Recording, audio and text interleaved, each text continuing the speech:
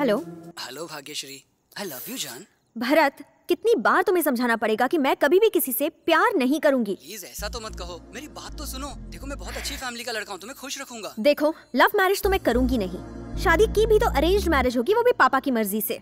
भाग्यश्री की ज़िंदगी में लव आ ही नहीं सकता।